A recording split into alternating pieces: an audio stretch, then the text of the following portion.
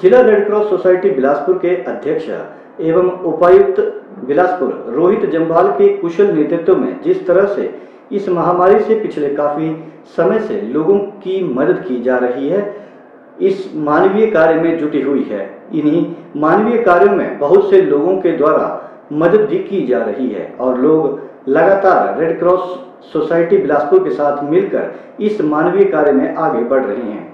उसी कड़ी को जोड़ते हुए राजेश वैद्य, जो कि black box GPS technology private limited Chandigarh के मालिक हैं। इन्होंने बिलासपुर रेड क्रॉस सोसाइटी को 12 वाहनों के लिए जीपीएस उपलब्ध करवाया है, जो आजकल सफलतापूर्वक ज़िले के कोविड सेवा में लगी 12 एंबुलेंस में लगा दिया गया है।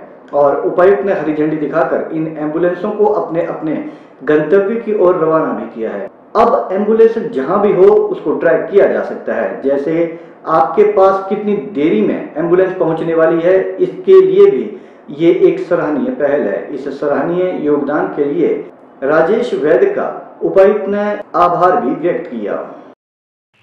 हमारी जो हैं 108 एंबुलेंस जितनी भी हैं, उन पे तो जीपीएस लोकेशन सिस्टम लगा ही हुआ है। तो उससे पता चलता रहता है कि वो कहाँ पर हैं, पर इसके अतिरिक्त कुछ हमने आठ जो हैं एंबुलेंस टैक्सीज लगाई थी, दो पर जो हैं सब डिवीज़न पर। तो उनकी और इसके अलावा हमारी दो डेड वैन हैं और कुछ पाँच एक और एंबुलेंस हैं।